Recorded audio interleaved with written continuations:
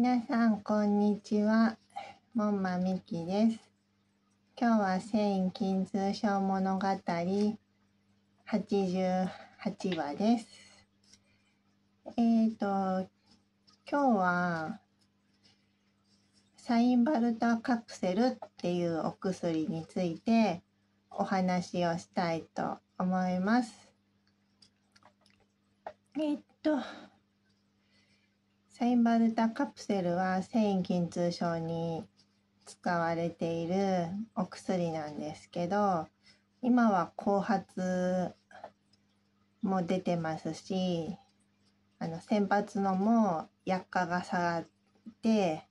あのお薬代の負担もかなり軽くなっているものなんですが以前はめちゃめちゃ高いいお薬でしたね。で、そのお薬なんですけど、ただ、まあ、処方されてるから服用してただけなん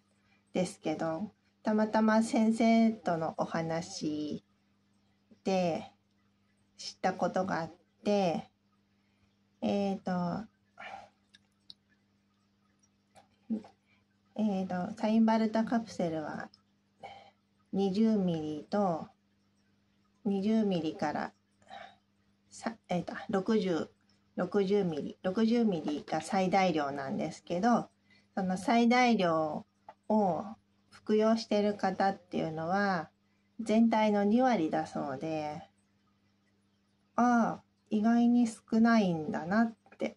思いました。やっぱりこう自分と同病の方とのお話で最大量飲んでる方の話しか聞かないのでもっと割合的に多いのかなって思ってたんですけど繊維筋痛症じゃない人も飲んでいらっしゃるのでそう考えるとああなるほど2割が妥当なのかな、うん、そうなのかって。新しい発見にちょっと驚いて。ねなんかこう先生から得る新しい情報っていうのは一部の人は知ってるかもしれないし知ってるかもしれないし知るよ知る必要がないかもしれないことかもしれないんですけど私としては新しい発見だったのでえっと今回動画撮らせていただきました。えっ、ー、と、それでは